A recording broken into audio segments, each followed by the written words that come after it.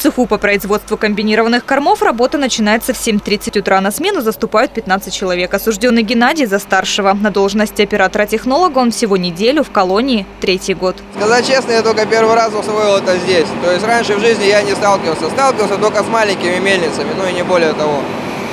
Работать с таким оборудованием осужденных обучали приглашенные специалисты. На это ушло немного времени. А вот на строительство и установку машины 4 месяца и 6 миллионов рублей. В производство вложились российские и иностранные бизнесмены. Для начала будем изготавливать корма на собственные нужды. Сначала для колонии, потом для, в рамках территориального органа. Ну а в будущем будем пытаться выйти на внешний рынок.